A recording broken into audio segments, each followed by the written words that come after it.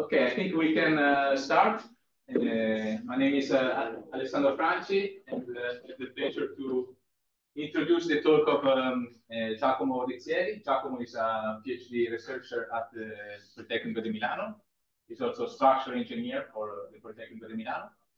Uh, Giacomo spent a period here in Barcelona and since November 2023 until today. So uh, this is the best day to make uh, questions. Um, in this respect, I would like to remember uh, everybody that in uh, coffee talk, you can interrupt the speaker during his presentation. So if you have some uh, question during uh, yeah, the Giacomo's presentation, you can uh, interrupt it. Okay, Giacomo is your turn. Thank you, Alessandro, for the nice introduction and welcome everybody. Uh, today I want to present to you uh, some recent advances in my research regarding numerical simulation with complex fluid, uh, mainly for 3D uh, printing applications. So, okay, uh, as Alessandro has already introduced me, so I'm actually enrolled in the third year of my PhD at Politecnico di Milano, and I finished my four months here to further develop my research. So let's go directly to the plan of the talk.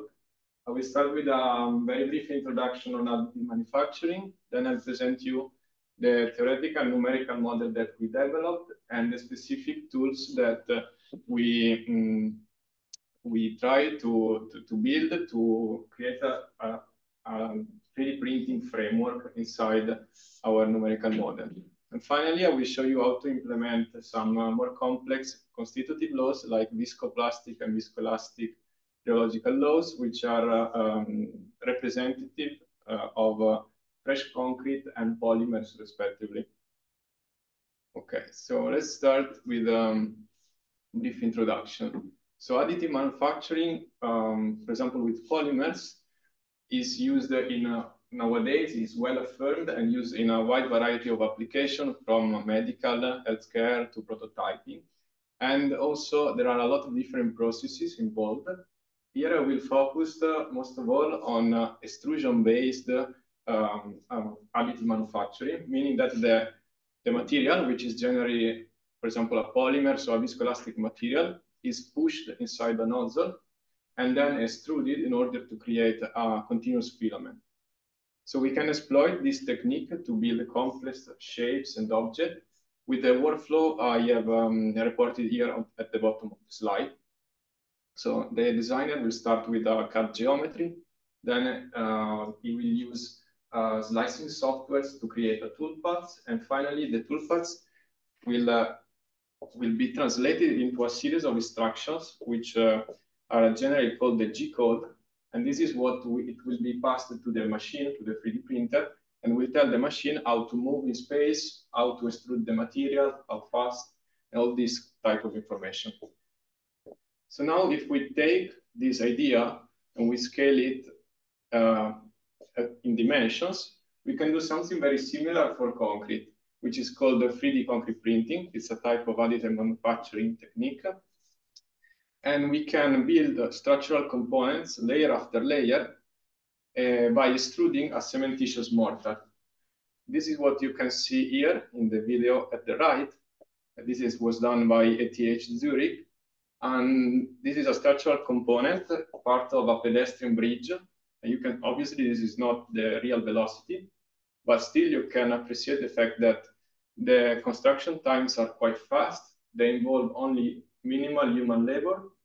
And also we are able to put the material exactly where it's needed with a very precise uh, motions. So we are also saving material and possibly uh, money. Okay.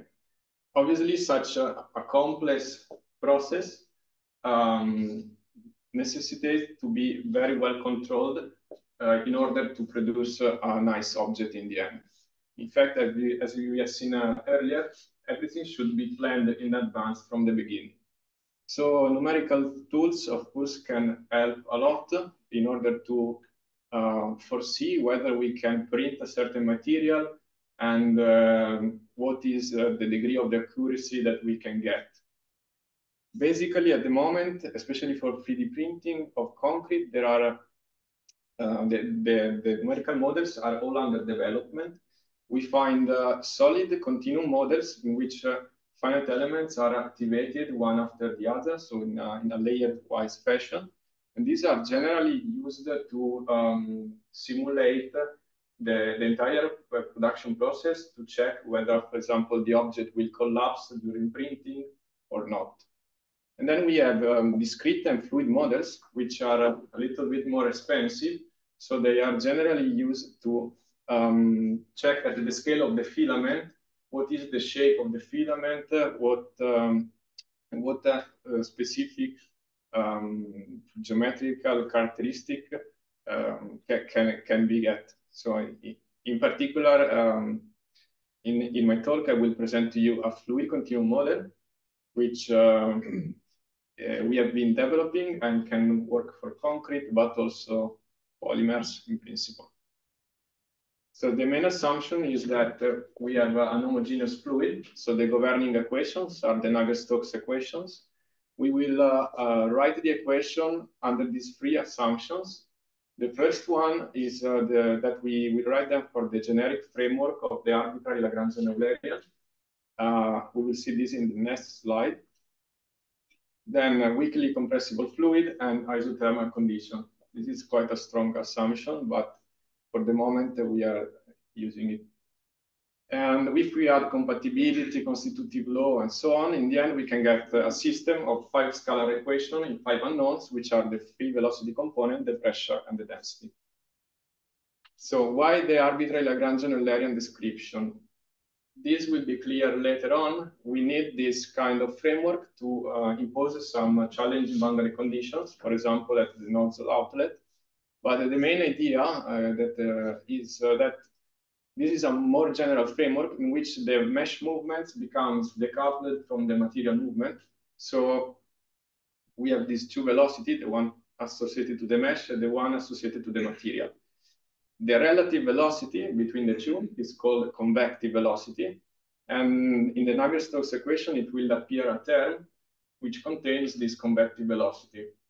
Then, if you look here at the bottom, um, by setting the value of the mesh velocity, we can recover either the Eulerian or the Lagrangian formulation because when the when the convective term is zero, by setting the mesh velocity equal to the uh, fluid velocity, we get the um, the Lagrangian formulation and vice versa.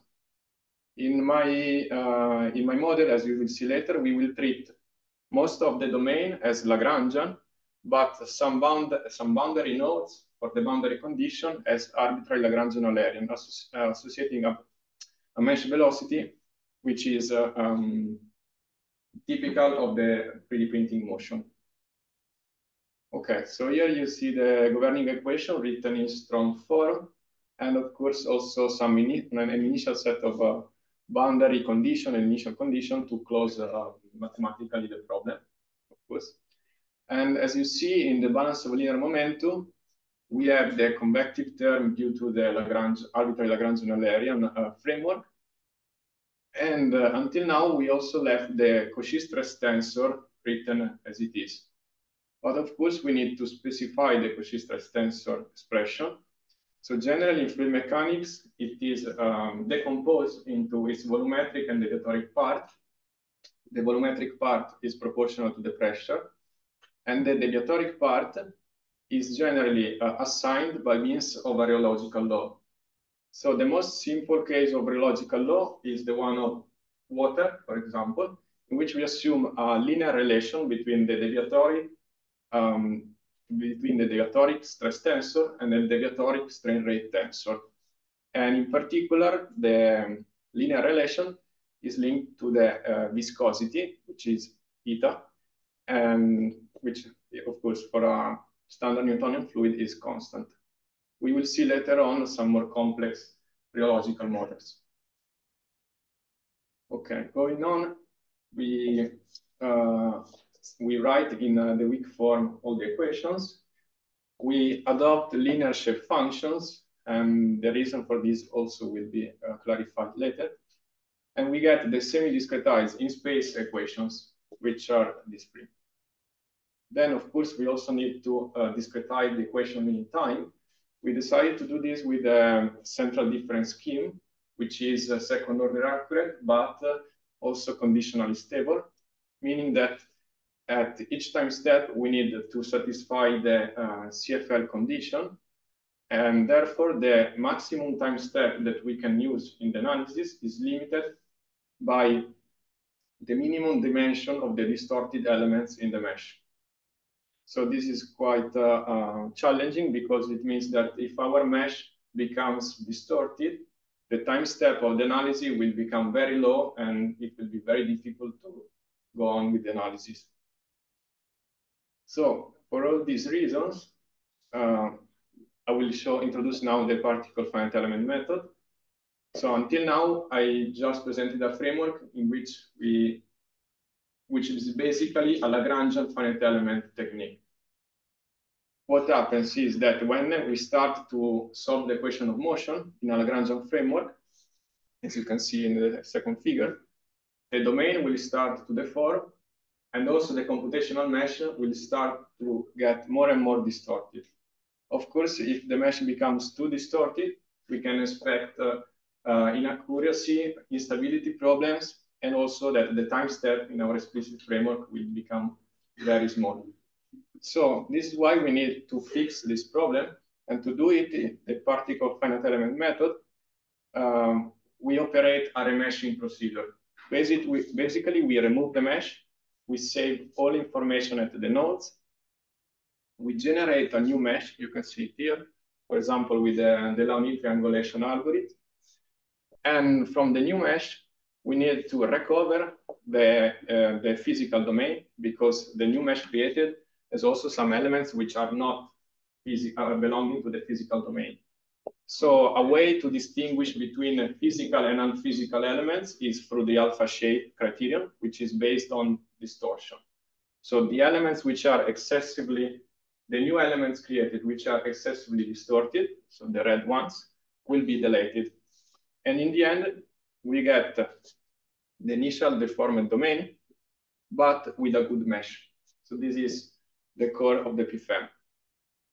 Uh, this technique has several advantages because uh, being the most of our domain in Lagrange, Lagrange, we don't have the convective term. So the, all the nonlinearities linked to the convective term, we don't have to deal with them. Also, the free surface is tracked. We don't need uh, interface capturing techniques uh, like uh, is generally done in Eulerian solvers. And finally, uh, we can deal with large displacement through the remeshing, but also merging and separation of the domain. As you can see in this simulation of a water droplet impacting on a container, you can see that there is a, a two portions which are merging and then separating. However, there are also some uh, aspects which are a little bit more challenging in the PFEM, such as how to guarantee a good quality mesh especially in, in 3D, sometimes it's not sufficient to just make a new mesh. Sometimes we also have to add other techniques to improve the mesh quality. Then uh, we are limited to triangular and tetrahedral elements, so only linear shape function finite elements, because of course, if we are going to keep only the material nodes when we do a remeshing and then generate a new mesh, we cannot deal with uh, finite elements which have nodes which are not linked to uh, the material nodes. And finally, we also have a problem of how can we transfer historical variables at the level of the element. So for example, uh, if we need stresses and we are the stresses are at the, at the level of the element, but we are going to delete the elements because uh, during the remeshing. So how can we transfer this data? These are problems that we will try to address later on. And it's the simulation for the 3D case. Drop of water, you see that the mesh starts to become very difficult to be managed. Okay, coming now, till now was the PFEM. Now we, I will show you some of the techniques that we use to simulate extrusion and 3D printing inside the PFEM. So first of all, I told you before that most of our domain will be treated as Lagrangian but this uh, line here in 2D or uh, a circle in 3D will be materialized with arbitrary Lagrangian points in order to uh, assign two uh, boundary conditions on the velocity at the same time. Because we need to assign that the nozzle will be translating in space with a certain velocity. And at the same time, we need also need to assign that the material is flowing down with a certain velocity.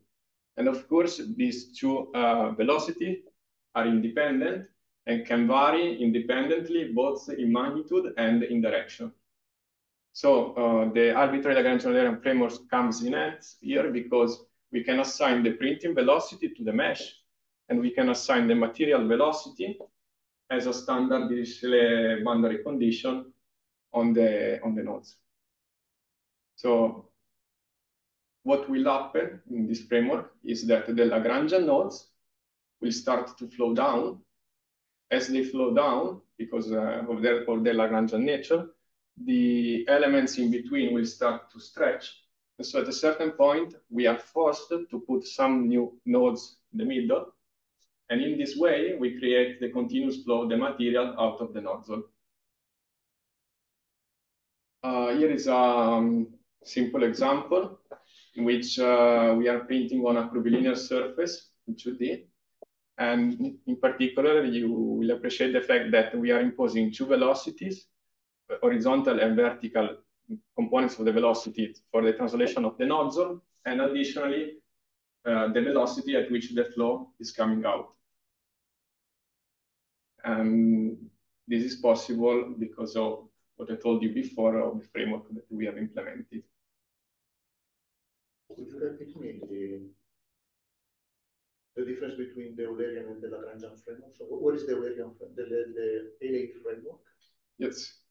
Um, well, if you look, for example, in this figure, all the domain this is Lagrangian. Okay. is all, all is all Lagrangian except for a small line of elements, small line of uh, nodes here.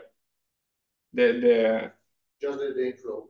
Just the inflow is materialized with uh, with nodes, which.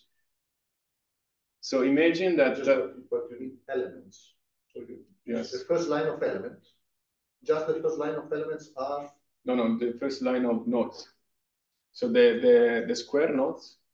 So let's imagine that our nozzle is not translating, but it's, it's fixed. And we just have the material flowing down. If we are in this simplified case, these nodes are Eulerian, and all the other nodes are Lagrangian. And this way, the Eulerian node will stay fixed, the Lagrangian nodes will flow down, and we add new Lagrangian nodes in the middle.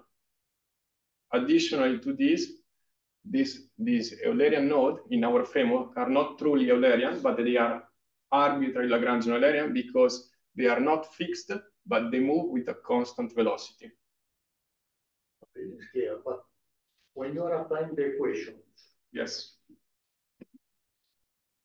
you're applying the, the balance equation with and without the convection term to elements, no? Um, to a domain. Yes, so we, not only the nodes, must be part of the domain that must be LAE. No? We are solving the equations. So is the first line of element must be LAE. Yes, sir, but uh, uh, we're solving the equation explicitly. So in the end, our uh, the, the contribution, the, the equations are solved at each node. It's a balance of uh, forces at each node. So, okay. Okay. And why explicit solution? Explicit integration. Yeah, why? Because we can deal, uh, I will get, no, yes, because we can deal better with nonlinearities. Um, we don't have which is the, the size of the, you, you were talking about the time step. The time step, which is the time step that you can use for this kind, for this example, for instance? Uh, it usually depends on the size of the mesh. Compared to the size of the element, the size of one element or two elements, half of it, how much? It's uh, the, the size of the elements divided by the velocity of the propagation wave. So for example, So very small time steps, very small. extremely small. I would say that if in this, if we use implicit, we could use a time step like of uh, One. One One over one over one thousand seconds. In in the explicit, we will use uh, something like one to the power of the minus five. So at least two or three orders of magnitude less. And this compensates the, the choice of using uh, explicit. Probably not. And that's that's why uh, the, my work here with the supervision Alessandro was in fact to introduce an implicit time integration scheme. So to to better deal with this problem. Thanks. No problem. Okay. Anyway, we will see something also at, at the end. Okay. Okay, so now there are a few slides a bit specific about PFEM. Um, a standard problem in PFEM is that when we uh, that uh, the, the the boundaries, for example, a rigid plane, are generally uh, materialized in advance by placing nodes, fixed nodes. And when the flow when the material arrives near the boundary, some elements will form in between. And through this mechanism, we have uh, that the flow will be confined by the boundaries. This is an intrinsic problem that some mass variation can occur because we are creating new elements which are not really part of the domain. And especially in 3D printing can cause some large variations in time on the total mass that we are printing. So we try to implement a slightly different uh, approach in which uh, we don't materialize, no, we don't put any points in the constraint. We simply have the material flowing, but we check the position of the points in time. And whenever they satisfy a certain positional constraint, for example, z less than or equal, less or equal than zero, we are going to impose in strong form the Dirichlet boundary condition. And in this way, we obtain uh, mass variations, which are very, very small. You can see the results here on the profile of the layer that is being printed. So it's not clear what. If you put the, the, the, the nodes in advance, In standard PFEM, the we will be in zeta equal to zero, will be. on zeta equal to zero. If we put the nodes in advance, If you don't put in advance, will be something close to, because you will remove the one that are very far, meaning very, very negative. And you keep the one that are very close to zeta equal to zero. yes. And then how do you control, first, how do you control the, the, the, the mass? But there is no mass loss in the second case because the nodes are simply being, it's like they are freezed. I mean, which is the difference between the two? In the first, there are some elements which are being created between the nodes we put. Uh, Yeah, This is true, but if, if you wait for the material to move, the material will move forward while it's also flowing down.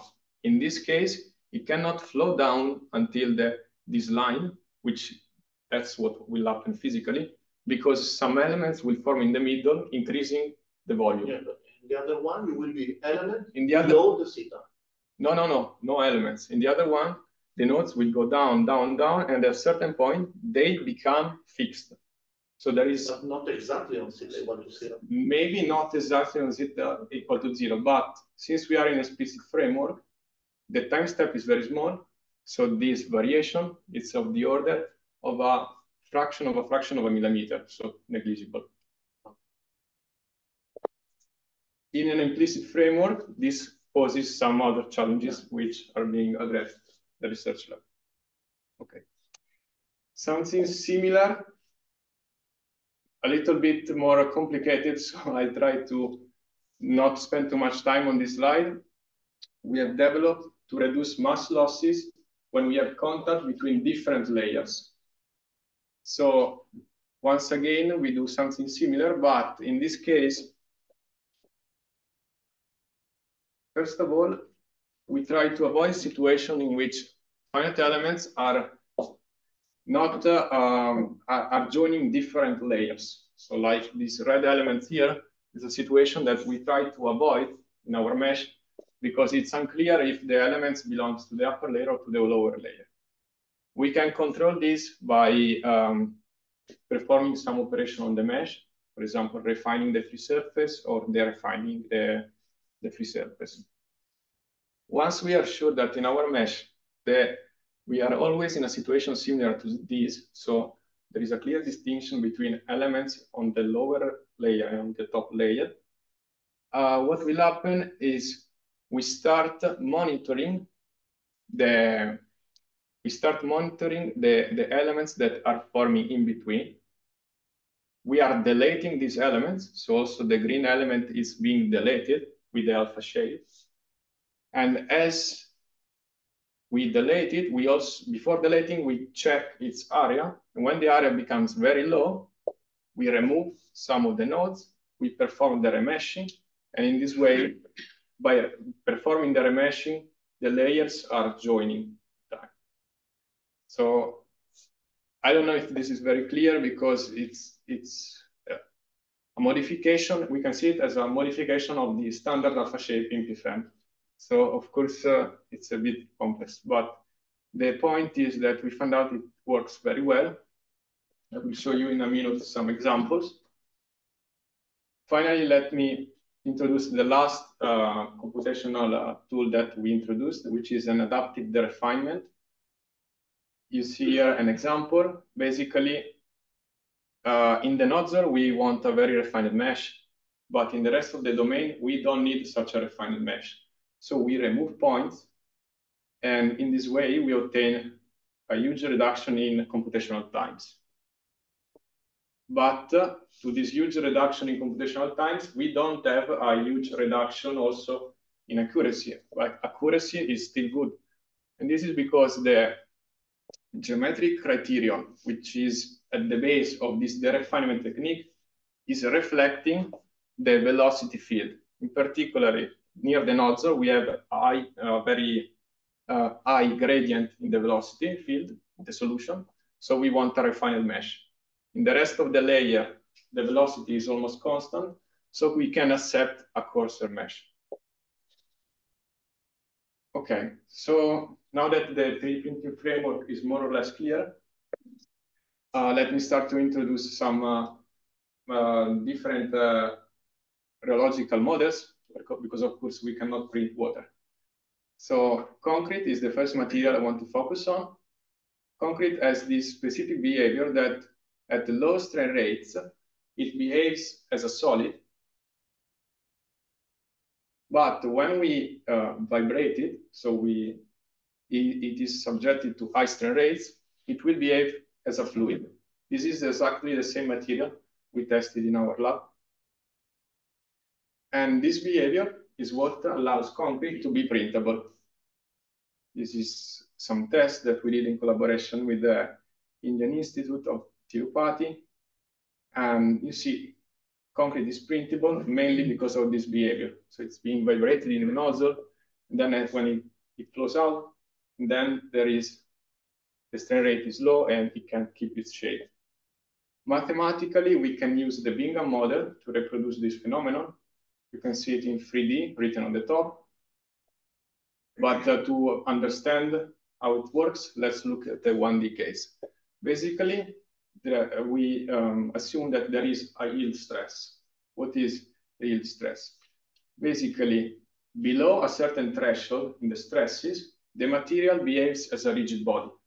When this threshold is overcome, the material starts to flow. Okay.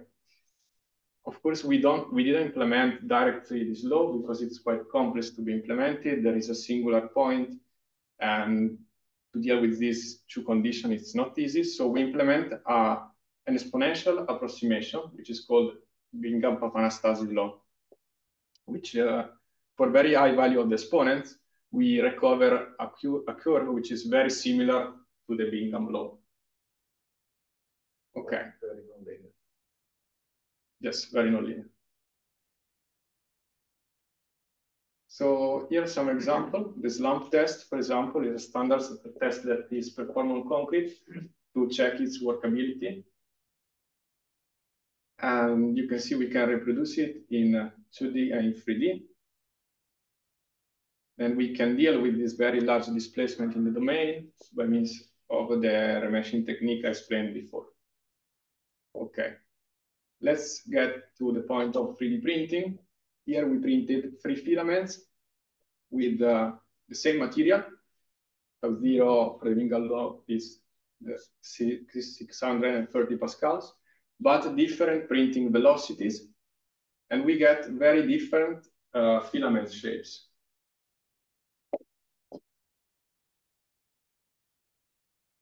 Of course, to get uh, different filament shapes, we will have different velocity fields and pressure fields. In particular, I think it's interesting to look at the pressure because this is a parameter which is relevant while we print something because high pressures can cause failure. So of course the model gives us also the, the pressure distribution. Uh, we validated the filament geometry by extracting the cross sections and comparing them with experimental results which are available, available in the literature. We found a very good uh, accordance. So we validated both our numerical framework for 3D printing and the implementation of the Bingham law. Uh, here a case in which we print instead uh, three layers. You see that the contact algorithm is working nicely because the, there is a quite smooth surface between the two, the two layers. We don't have many elements forming in between, so the volume is conserved. Also in this case, we uh, extracted a cross-section, compared it with the experimental results, and we found out very good agreement, little less good for the last. Probably the, this was a problem of compressibility. Okay, of course, once the model is validated, it can be used to simulate more complex geometry. For example, a circular one. Our code is taking in input the G code, so it acts similar to a virtual 3D printer. And so it can simply reproduce the toolpaths and print these different shapes. Another interesting application is uh, to, to, check if the code is able to reproduce um, collapse due to instability behaviors during printing. This is something which has been observed experimentally. It's actually something very, which happens very often. If you print too fast or the, the mechanical parameters in the material are not uh, developing fast enough. So if the material doesn't become stiff enough, it can cause uh, buckling failure and we reproduce it. We try to reproduce a similar um, failure mechanism. And we were quite happy to see that our framework was able to reproduce it. And since the time integration is explicit, we are able to uh, treat this without any difficulties. While we know that in an implicit framework, dealing with buckling sometimes uh, can cause problems and we need especially for convergence of the non, um, nonlinear solvers. Okay, coming to the last part, viscoelastic flows. Sorry, can I? Yes. This is not taking into account the, the hardening of the material because it, it, it is fluid all the time with the same properties. Uh, exactly. We implemented also, I'm not showing here. There is no aging. There is no aging because generally for a printing of a few layers, so in the first few minutes, aging is not so relevant in 3D concrete printing. If we start uh, dealing with something like, uh, I don't know, 50 layers, 20, 50 layers, aging, aging becomes very important. Yeah, the second question more relevant. There are no stresses. There are no stresses meaning you are not generating the stiffness of the material. I mean, you don't have stiffness. It is like a fluid all the time. It is a viscous fluid, but it's a fluid. It I, just depends on the strain rate. I wouldn't. I would but not when say the strain rate is zero. So when it is not when moving, it is zero. exactly. When it, I would not say it's a fluid because it's a fluid only in the moment well while it's flowing. But after it's deposed, this is acting as a rigid body until the, the, the stresses inside build up and overcome the yield stress. At that point, it will start to flow again. So it's viscoplastic. Yeah, yeah, but uh, There are no elasticity you stresses. don't have any elastic stress. generally. No, exactly. So if you want to build any kind of structure, you don't, you never see the stresses that generate, I mean, Yes, you're right. That's quite a problem because for instance, for, I don't probably have- this the next slide, but in case of, of, of plastic filaments, I mean, this, solidified. yes. I mean, in- But, okay. No, no, no, you're right. You're right. The, you cannot see the, the stresses because you just know that we are below the yield stress if the material is at rest, but we don't know what is the stress level inside. That's a problem. That's why we try to develop viscoelastic uh, model because in the end, I, I've not done it here, I've not, I've not done it yet, but in the end, we would like to achieve a viscoelastoplastic model. In this way, also stress, the stress state is known uh, univocally. Okay. Okay, so visco viscoelastic fluids, um, for example, polymers or biological fluids, are generally composed of a solvent matrix, which is a Newtonian viscous fluid. And inside this matrix, we have a microstructure. For example, in the case of polymer, the microstructure is, are, is composed of diluted polymers. And the um, most standard model used in viscoelasticity of flows is probably the Oldroyd-B model. You can see it represented schematically for the 1D case there.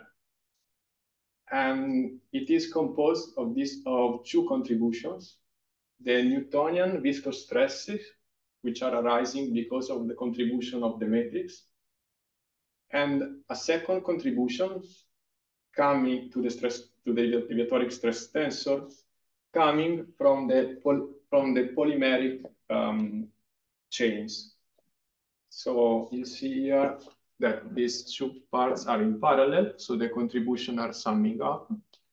And in particular, the challenging task here is to compute the polymeric stress tensor, so the contribution coming from the polymer. To do it, we need to solve this equation, in which we, it appears the upper convective derivative. Here I've written the upper convective derivative for, uh, for its length. And this derivative is necessary because the model must be um, frame invariant. So at each time step, we will need to solve this equation. However, since we are in a Lagrangian point of view, the convective term can be disregarded. This simplifies a lot all the uh, all the computations because we get an ordinary differential equation because now the polymeric stress tensor is only derived with respect to time. We don't have derivative with respect to space. So we can discretize in time, for example, with the forward Euler scheme, the time derivative. And we get in the end the expression at the bottom, which says that the polymeric, the updated polymeric stress tensor is given by the old polymeric stress tensor plus uh, an increment.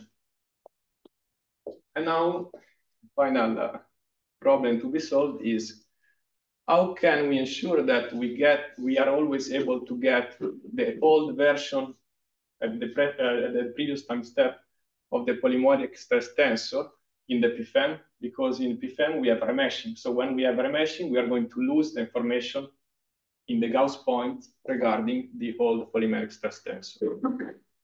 A possible solution, which we propose here, is to, uh, so let's suppose that we already have from that in, in the previous time step, there was no meshing.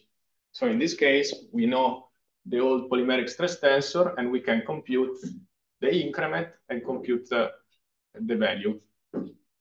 However, before solving the equations, what we do is we save only the increment the polymer of the polymeric stress tensor at the nodes by means of an averaging process like this one, which we, we save the variable at the nodes. Then the remeshing is performed. And after the remeshing, the information about the polymeric stress tensor is reconstructed in the Gauss point starting from what we saved previously at the nodes. Of course, this procedure will, um, will cause some smoothing of the variables, but since we are uh, only uh, averaging the and uh, saving the increments, this smoothing is very contained. Okay, so finally, let's see some application of viscoelasticity. Uh, this is the uh, standard benchmark in viscoelasticity, the fall of a drop of fluid onto a rigid plane. On the left, you can see the Newtonian fluid, and then we see two viscoelastic fluids with different Reynolds numbers. You can see that the Newtonian fluid is just flowing, while the viscoelastic uh, flows behave very differently. One is expanding more and then contracting, while the second one is bouncing.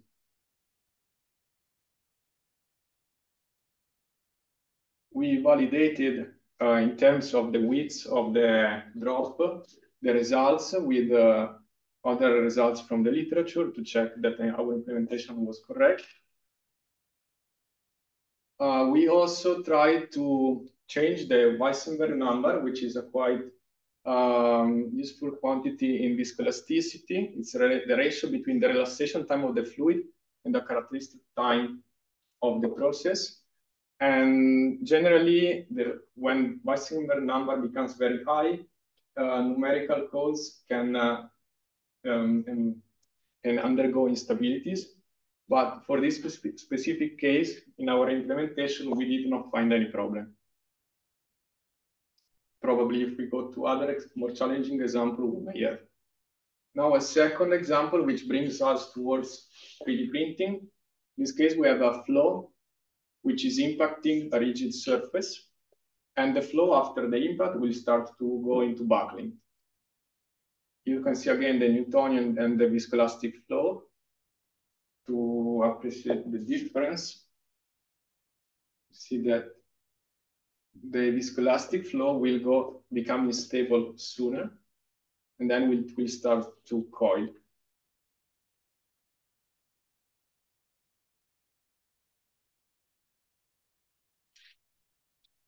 Uh, we did the same also for the 3D case we, the results are analogous. And okay.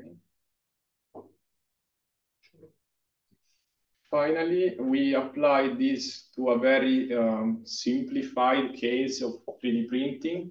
I say simplified because we take uh, a generic viscoelastic material. We don't include uh, phase, transi phase transition or thermal effects. But uh, I think what is nice is you can see the relaxation time. So what you see plotted are the elastic strain tensor norm. So an indication of how the elastic stresses are generated. And you see that the elastic stresses are disappearing in time on a time scale which is linked to the relaxation parameter. Okay. Uh, Okay, so I reached the end. Present you the general framework to reproduce 3D printing in, with the PFEM. Two type of viscoelastic, two types of rheological law, the viscoplastic and viscoelastic. And the future goals are to get to an implicit time integration scheme to try to save some computational time and to implement an elastic viscoplastic constitutive law, which could be probably more, more representative both for concrete and polymers. Uh, these are some references, especially the one on viscoelasticity is not uh, uh, published yet, but it has been uh, accepted for publication. So we hope that by the, soon enough it will be available. Okay, uh, thank you all for the attention. And if you have any questions, uh, you can answer.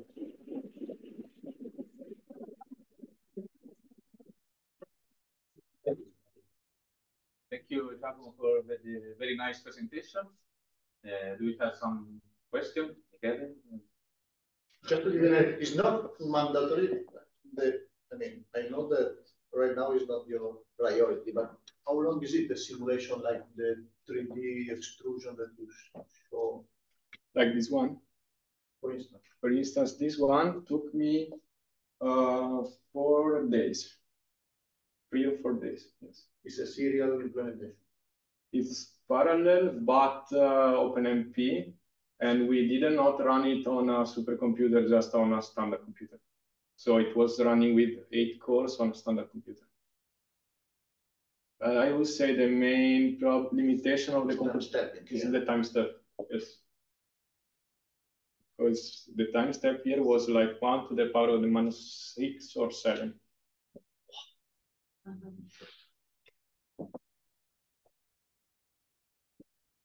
But in case it's still something that uh, a little bit slow today, but even if you add the viscoelasticity, this elasticity is disappearing in time because of the viscous relaxation. Uh, so you, you are not accumulating stresses because of the eventually the hardening of the material or the weight of the of the next layer or whatever. You don't have, you are not generating stresses in the Lagrangian. No, the, the, the reason why we are not uh, generating stresses, it's because it's a viscoelastic fluid. So in time, the stresses will disappear. Yes. But still, still a fluid. I mean. Still a fluid. That's, but if we, um, what we will, will, try to do is to add uh, elastic stresses also in the Bingham model, for example, below the threshold, as if the material, instead of behaving as a rigid body, it will behave as a solid um, elastic body. And that stresses, in that case, will, will not disappear. And this is the viscoelastic uh, fluid, I think is not really representative of how we should uh, it can suggest how to introduce them, but it's still a fluid. We, we need to add in the model, for example, in parallel a spring to, to get it to get it to a solid. And then how much? How is your de-refinement implemented? Uh, okay, the, the, the, refinement is implemented on.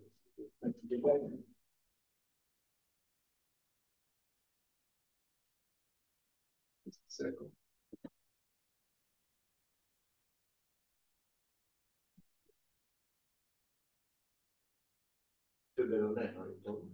Yes, basically we are uh, removing nodes outside of a certain geometrical region. And after you remove the nodes, you perform a new mesh with the Delaunay algorithm. So the nice thing about PFEM is we need any way to really generate the mesh every certain points, so in time. So we exploit it also to do the, the, the adaptive refinement the, the, the refinement, uh, the, do you lose information about the Gauss points? Uh, Not very much because it told that it's zero because it, the pressure disappears. So when the velocity is almost zero, yeah. We, we are losing uh, we are losing some of the nodes, so we are losing information in that nodes, but not really in the Gauss points. I mean, because after during the refine we recreate the mesh, so we no, lose everything. No, but I think when you when you create the big the big node, the big elements are transferred information to the low points. The accuracy of that. Ah, no, no, we're not doing it. No, no, no. We can say nothing because there's nothing to signal. Any other question? when you will adapt, when you, you will add uh, elasticity or whatever, this will be a problem. I mean. Yeah, yeah. Yes. Is the question? I think so, because we are losing the information stored, yeah, yeah for sure. Okay, but I guess there is uh, also some interest in the fluid part of this uh, yes, yes. of this simulation. I mean, yeah, until now, I mean, the, the, as I showed in the beginning, there are two levels: the the level of the scale of the object and the scale of the filament. When we are at the scale of the filament, so two, three layers, the main idea is to check how the nozzle, the velocities, the, so the, how the parameters are interacting with the material properties. So in this case, I think the fluid is more than enough. Then if we want to approach buildability, I'm speaking about concrete, not polymers. If we want to approach buildability, so several uh, layers, then uh, we need uh, to switch to a different framework. And to conclude, I would like to remark that the work that uh, Giacomo did on uh, remeshing, it's quite complicated. It's difficult to, to, to sell and difficult to, to explain, but uh, all the, the work he did for uh, uh, reducing, uh, to improve mass conservation was remarkable. So I would like to emphasize it. Okay, so we can thank the speaker again.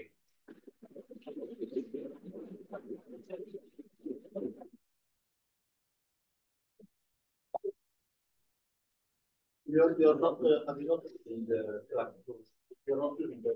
No, no, it's. No, it's, uh, New implementation from scratch. it's the, the different code was already, was already available, was implemented by a supervisor, Massimiliano Cremonesi. Cremonesi. I added the part about the 3D printing and this velocity